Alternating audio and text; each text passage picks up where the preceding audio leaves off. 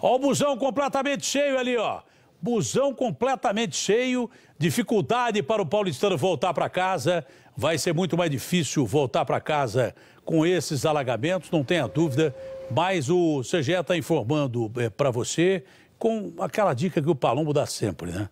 Espere terminar esse vendaval, esse pé d'água, para você poder voltar é, para casa com mais segurança e tranquilidade. É, de repente pode cair uma árvore, derrubar um fio, é, acontecer problemas seríssimos aí. Temos algum, alguma informação de vítimas mais graves aí ou não, meu amigo Palombo?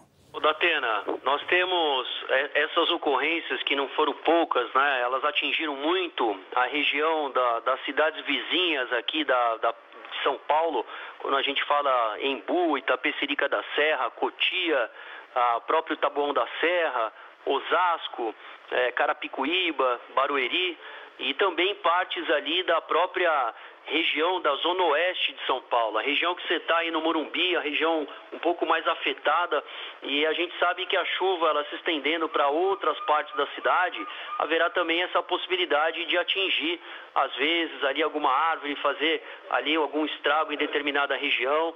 Então, a orientação e a dica do Corpo de Bombeiros, com certeza do CGE, de todos os órgãos de emergência, é para que as pessoas não se arrisquem. Mesmo vendo lá que é aquele local que você sempre passa, mas se tiver alagado, faz outro caminho. Não tenta passar por ali, o carro pode morrer durante essa travessia da tela, entrar água pelo escapamento, entrar água dentro do carro, e você permanecer ali numa situação de risco. Então, faz isso que a gente está orientando. Aguarda um pouquinho, espera um pouquinho, atrasa um pouco a sua saída para que você não esteja depois numa ocorrência, numa emergência, precisar ali do atendimento do Corpo de Bombeiros.